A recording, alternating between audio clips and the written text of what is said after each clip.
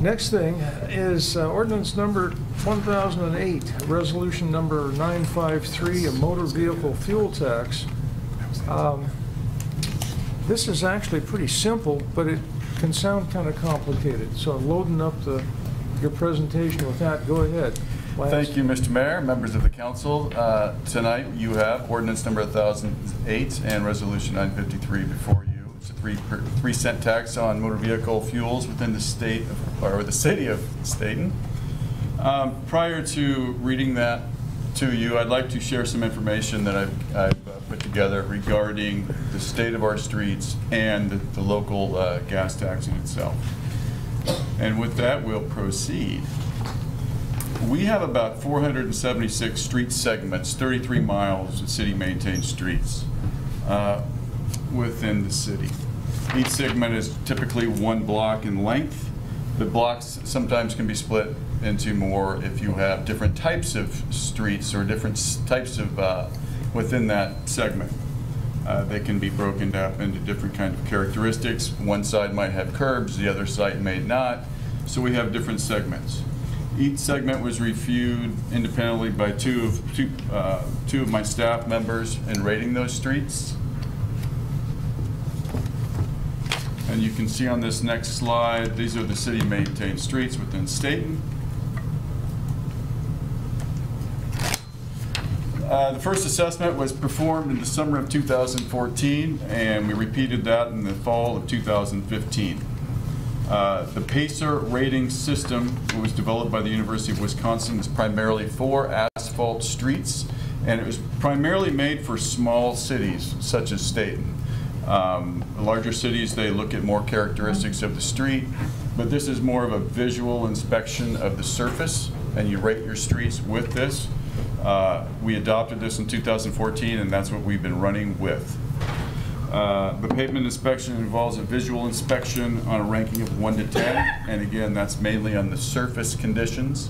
You can learn a lot from a street and then subgrade based on what the conditions are of the surface, and that's, that's kind of what we rely on here.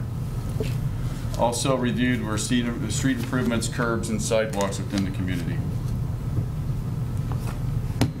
We have 30, we have 33.3 miles that are paved, or some portions of that, of those uh, segments are paved, and about, just about a mile that is unpaved, gravel surfaces or uh, oil mat, something like that, that has no pavement at all to it.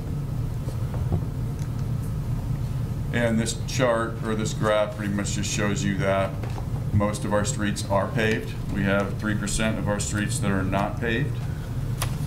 And again, most of those are gravel, uh, some dirt.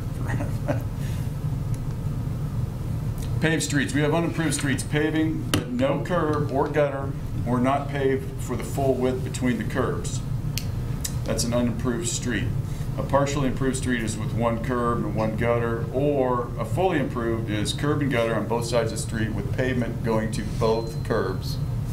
So the unimproved, you could have a curb on one side and, or curb on two sides, but the paving doesn't go to the curb. It stops and you have gravel before it gets to the curb. That's what we're considering an unimproved, unimproved street here.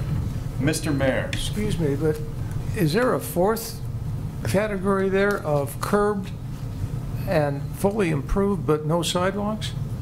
Do No, sidewalks sir. come into this at all? Well, if you look at our master plan or our trans- transportation plan or any of our design standards, if we were to have a developer come in, for example, uh, Wildlife Meadows, they have to put sidewalks in. That is not something that we looked at with this study. We're looking Okay. primarily at curves and pavement. Okay, thank you. 3.87 miles are unimproved, 3.14 partially improved, and 26.27 are fully improved. That's the good news. And this is another bar chart that uh, illustrates that. We have different functional classifications uh, of our streets. We have a minor arterial, we have some major collectors, and primarily we have local streets. This is Washington Street, that is our minor arterial. Uh, primarily minor arterials. It doesn't really happen very much here because it's a, a uh, urban an arterial. Most of the time, arterials, you have, you try to uh, limit the amount of access points. Uh, That really doesn't happen on Washington Street. There seems to be a driveway about every 50 feet. Uh, Most arterials, you're not supposed to have an access, access spacing is 600 feet. We can't meet that here because we have residential, it's somewhat, there's some residential there, you have some commercial, and there are driveway access points, you know, could be every 50 to 100 feet, so. But that is our minor arterial. He- There, here are our major collectors within the community. Um, It looks like you, uh, you have uh, Fern Ridge, oh, excuse me, wrong button. You have Fern Ridge there, looks like 10th Street, um, Locust, and Ida. Those are our major collectors. Uh, These are existing major collectors. In the future, our transportation plan calls for uh, Kendall Way and Junco. Those will also be major collectors when they're built out. Local streets, we have 28.6 miles, again. They're further categorized into commercial, local, neighborhood collector, residential, uh, local, and dead-end cul-de-sac. That's primarily for planning and development. Really, it just kind of illustrates where those are located within the community. And again, here's another bar chart that kind of shows you each. And again, residential local is primarily the, the biggest makeup of our streets. Going back to the PASER system, when we go out and rate these streets, again, uh, we rate them from zero to one to 10. Uh, Anything from one to three is a a very poor street. uh, And generally, a reconstruction of that street will be required. From a 3.1 to a 6.9, a structural overlay, that's still really not a very good street. Um, An overlay, would we'd probably require an overlay. Sometimes when you open up an overlay, if we want to go out and mill it or grind it, as you've seen, you'll grind that top layer off and you won't see any rock underneath at all. And so you may plan on a, an overlay on a street like that, but once you grind that street and you see dirt, then that turns into a reconstructed road, uh, which drives the price up considerably. For this uh, exercise, though, I, when we went through the numbers, we just figured on an overlay street, we'll be grinding and paving. We wouldn't, we didn't look at any kind of uh, reconstruction for those streets, so there's no number to those. So uh, number, uh, again, if it's rated seven to eight, that's a good or very good street. That's really what we're after for the majority of our streets. And nine to 10, there's no maintenance required at all. Those are new streets basically within uh, five years of being constructed. Stayton is fortunate that it does have a lot of uh, quarry rock, uh, fractured rock in our subgrade, so it's a pretty good natural road base. Uh, I've seen streets out there that there's pavement right over the dirt, like I was just talking about. That's because we've got some fractured basalt, um, which is good. It helps our streets, the longevity of them, even though most of them, I couldn't find ages on most of our streets anywhere in our records. Um, I'm sure they were constructed at some point in the f- past 50 years, or maybe not, but I couldn't find ages of them. But the good thing is that we have good road base. Um, That helps us. If we didn't, we'd be in uh, much worse shape.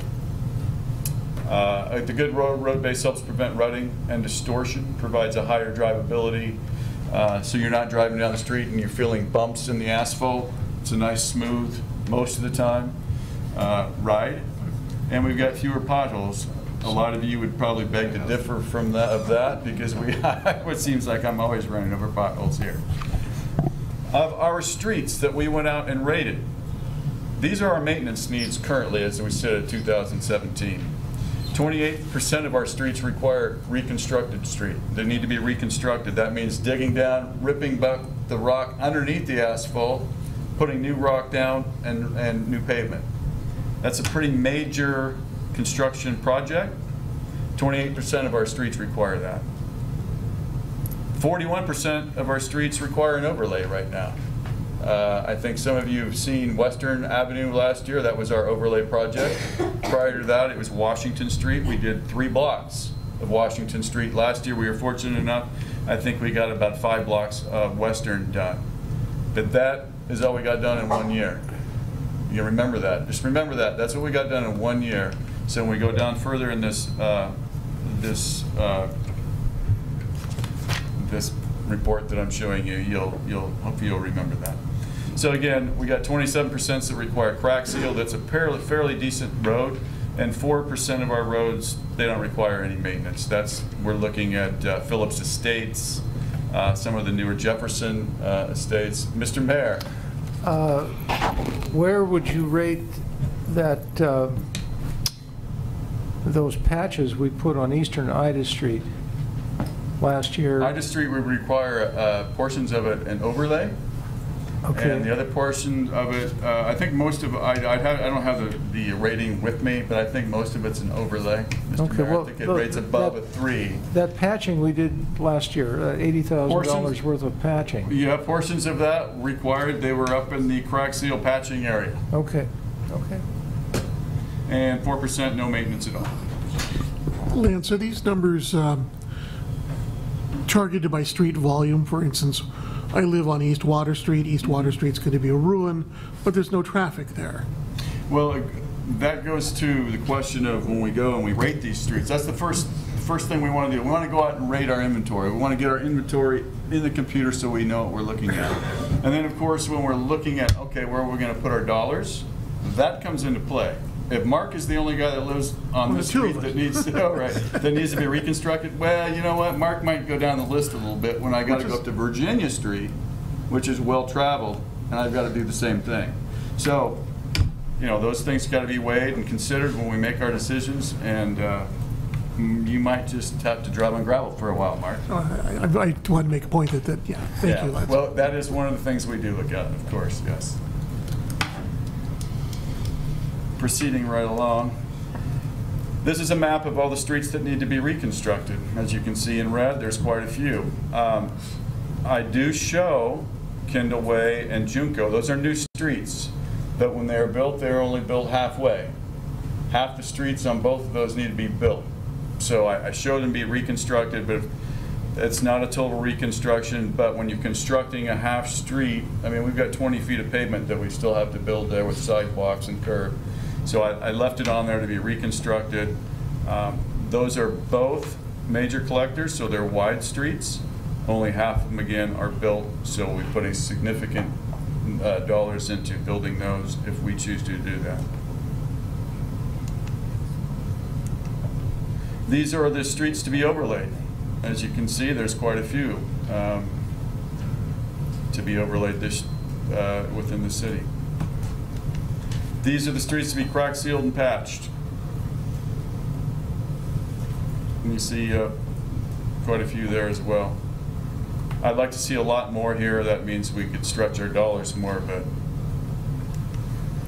um, Just here's a, a picture of a uh, PASER 10. So this is the, one of the best streets we have right here, and this is 10th Avenue, um, Sandy M. Fern Ridge. This was re, this was done constructed, uh, what 2008, Dan, somewhere in there, 2010, 11. Okay. Well, it, it's newer than that, so you can see it's five, six years old. It's in good shape. That's what we'd like all our streets to look like, really. Here's a, a PASER seven, uh, of seven. This is East Burnett. Um, I had written some things down on this because I was going through this earlier. down the subdivision area. Uh, yeah, you can see the curbs there. I'm not really sure what sub, this was taken last year. But what I wanted to say is you can see where the asphalt is starting to slowly be worn. Some of the binder has been aged and some of the smaller fines, the smaller aggregates are starting to come off the pavement. The- See the small rutting in there? That's just the first stages of wear and tear. If we don't get in there and start maintaining these, we will lose it probably in five or six years and we'll have to end up, we might be going to looking at a reconstruct. The street will start breaking down and they'll start looking like this in 10 years. And this is a total reconstruct. You can see where the asphalt's completely worn out. Uh, The binding agent's gone. You've got uh, aggregates completely missing in there. This is called alligatoring. That's telling me that the subgrade, the material underneath this road is breaking down as well. So we're gonna have to dig this whole street up, put new rock down and new pavement. And by the looks of it, it looks like we're gonna have to put curbs in, uh, and put some sort of storm drainage in there to route water away from these streets. A lot of times water gets into these streets and they start washing the fines out of the rock and the dirt underneath, and you'll start, they'll just start failing. They can't bridge the asphalt anymore and they'll just start collapsing. That's not what this is, but um, that's kind of where we'll be going with that if we don't get any, uh, uh, this reconstructed or any of our other streets uh, to be maintained. This is a PASER one, this is Water Avenue again. You can see where the asphalt's just worn away and there's the curb, got a nice curb there, but it's not doing much. Um, It's not six inches or five inches. It's- It's, you know, I don't know what, what it's doing really. But that's a street we want to, uh, we would like to get uh, repaired. Oh, thank you. So, the Stayton municipal code 1204-250, here's our priorities, and this was established several years ago. Our number one priority is arterial streets, maintaining those. Collector streets, number two, local streets with full width curb to curb. These are the streets we look at, and this is the priority we look at when we go and we have our, take our maintenance dollars and we decide where we're gonna put them. This is the priority that we had uh, established several years ago. And we're looking at arterial streets, collector streets, local streets, sidewalks, pedestrian and bike paths and trails, ADA ramps, accessible uh, facilities, local streets, partial width improvements, and then finally gravel streets. Basically, what this is telling you is, we're not gonna put any dollars, maintenance dollars into gravel streets as they sit. We may go in and do some dust control on an annual basis, but we're not gonna go grade it and pave it probably. We're probably gonna be looking up here and trying to maintain these streets so we don't have to reconstruct them in ten years.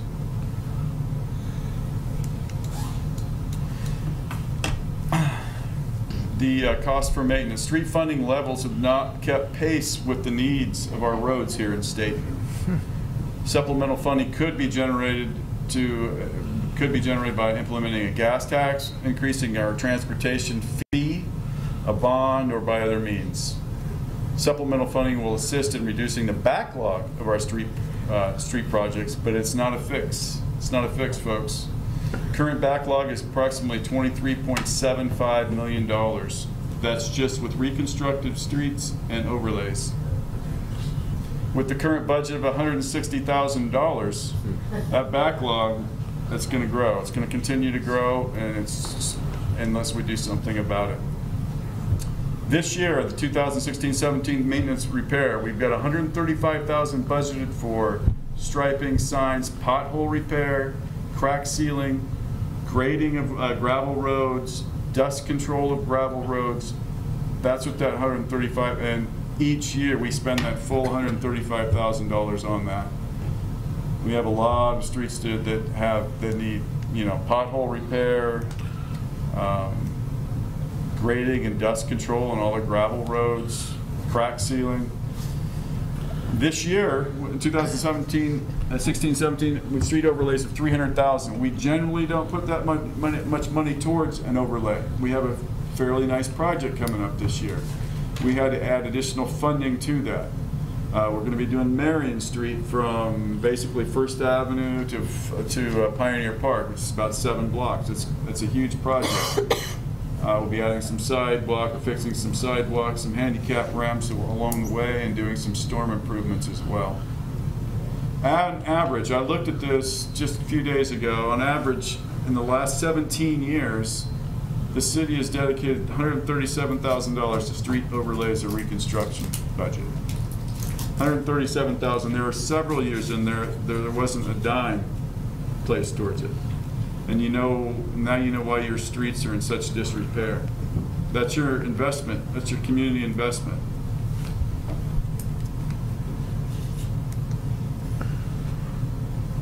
Using our 2015 PASER rating scale, we have a street reconstruction of $15.8 million. That's what needs to be done of all our streets in the city. Our overlays, we have about 7.8 million. So we have a total cost of about $23.7 million of pro, of street projects that need to be done. If we don't start doing them now, they're all gonna be street, street construction projects, and the price is gonna be astronomical. At the current spe- spending rate of $160,000, it'll take 147 years to bring all our streets up to good condition. And that's a, that's a rating of seven to eight. 147 years. I don't think we'll live long enough. Yeah, well, yeah, probably not. Um, A lot of times when you're looking at master planning and traffic impact studies and our traffic uh, management plans, you're looking at 20 years. 20 years is what you want to look at. What is the city of, the the size of the city going to be in 20 years? Which streets are going to be built? So if you look at 20 years and we wanted to get to that good level of uh, a rating of seven, We'd have to invest $1.2 million annually to get to that in 20 years. That's how far behind we are. So which brings me to the motor vehicle fuel tax. This is a program that many cities and counties throughout the state have in their communities. Um, Here are some just bullet point items, what this, how these things work. The motor vehicle fuel tax in Oregon is taxed at the first point of sale. So gas comes into the state, to the terminals, that's the first place. Now, they sell it to distributors. There's a, uh, guys with the tanks, tanker trucks that come around. There's one exemption for that sales tax that can usually be used, and that's generally from the terminal. They don't pay state sales tax. They give it to the guy with the truck that hauls, comes in and and loads his tanker truck up and hauls it to the service stations. That guy at the tanker truck, he's gonna be paying state tax on everything he buys and sells. So he's generally the guy that pays that state tax, the guy with the tanker truck. And I've spoken to uh, one or two, two dealers, or one dealer actually, um, a distributor who buys fuel from the terminal and he brings it to our little service station here in Stayton. And for every gallon of gas that he sells to them, he charges them for the state tax. If we were to instill a gas tax of three cents, he would pass that three cent, he'd be paying for that three cents to the state. He would pass that three cents tax on to the gas station.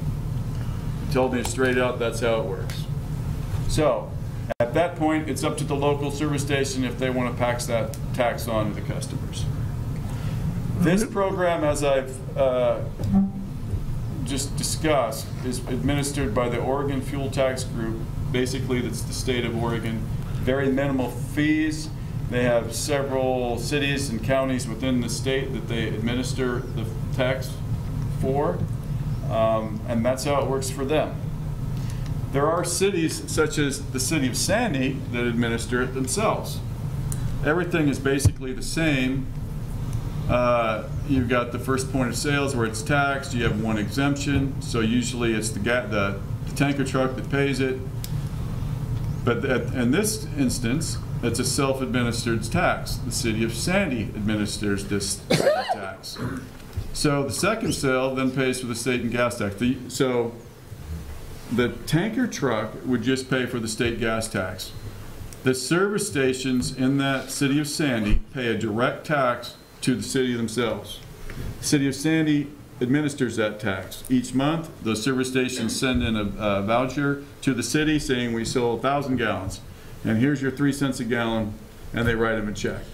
That's how the city of Sandy administers that tax. So that's an option for the city of Stayton, if we How how does Multnomah County do it now with their nickel tax they just did, same way? Um, I'm not sure how, if they're self-administered or not. I don't think they are, in fact, I know they're not. Because they they- just, they just started it in January. Self-administration? I, I don't know which way they're Well, I don't think they are. I think that, that- I think uh, the state does it for them. And you'll see this in here in a minute, Mark. Uh, The local service station can pass the tax on to customers. One thing I will mention is that I did speak to the finance director for the city of Stayton, or city of Sandy, excuse me. She hasn't noticed the tax in that community versus where she lives in Gresham. The tax over the gas, the gas uh, prices are relatively the same. So if they're passing it on, then they're gouging people in Gresham. So I can't tell you how it works.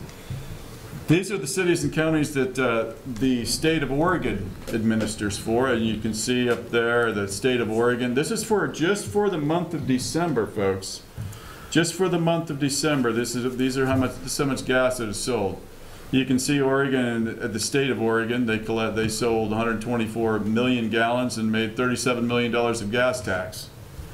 Uh, the city of Tigard, they sold 2,265 or 2 million Yeah. gallons and they collected sixty-seven thousand dollars of gas tax. They charge three cents per gallon. There's the state, thirty, that's every gallon that comes into Oregon, the state collects thirty cents per gallon. These are the other cities within the state that the the, the state of Oregon administers the gas tax for. You can see down here in Multnomah County, there it is right there, the state administers it for them, they sell eighteen million gallons. They collect, uh, five hundred and sixty thousand dollars per month. Gas tax, it's a lot of money, that's a lot of streets to be fixed right there. But if we compare to like Astoria or Canby uh, or Hood River, those would be more likely to be. Yeah. Well, I've got those numbers for you, ma'am. Lance, how many gallons of gas does the Shell station and the Arco station sell? I've got that for you right here, Mr. Mark. Let me just keep going down the road here. The city tax on mo- all motor vehicle fuels, the tax is three cents per gallon for motor fuels sold in Stayton. The net revenue shall only be used for all active, for activities related to construction, reconstruction, improvement, repair, maintenance of public highways, roads, and streets within the state. It doesn't go to the general fund, it goes right back into street improvements. The net revenue shall be used for the street maintenance program established under chapter three point three zero of the Stayton municipal code. Basically, what that's telling you is that this is for streets. If you guys vote for it, if the city votes for it, this is going right back into repairing the streets of this community. Dedicated tax. The benefits of this tax, we sell approximately 5.4 million gallons of gas annually. That was what was sold in 2016. We would generate about $160,000 with that 3 cents per gallon, and that would go directly for street maintenance and repair. With that, com- combining that with what we already put towards street maintenance and repair, we could invest $320,000 in local street maintenance and repairs. And that would take our 149 or 147 years and we'd bring it down to 74 years before our streets are up to good rating. So Why Dan Fleischman might still be around, but probably not the rest of us, but still, we're working our way towards it. so Lance, why just three cents? That is what the city council voted for back in the fall of 2015, I believe. It was brought to the city council. Why not go for a dime? Um, you're talking to the wrong gentleman. I mean, if we're gonna is what- do it, That was what voted for by the city council. This is voted on by the citizens. on the citizens or the council? I- i- It'll go to, No, I, I'm saying, I, The report, it was- this, this was is for, brought- but for the citizens, I mean, you could make a good case. I, my, my gas tanks in my, my vehicles average about 11 gallons. If I fill them up, it's a buck 10 at 10 cents versus 34 cents. You know, what's a buck, really? You know, because our indebtedness per street per capita is $150,000. That's how, how far we are in the hole. If you take eight 8,000 people and divide it by the number of dollars he's got up there. That is a city council uh, question and debate. I'm here just to administer my report. No, that's fine. I'm just saying that Going on, the procedures for an enactment of this gas tax, ORS 219, requires approvals by the voters. Council needs to enact an an ordinance. Council approves the resolutions referring that measure to the voters, and our next election is May 16th.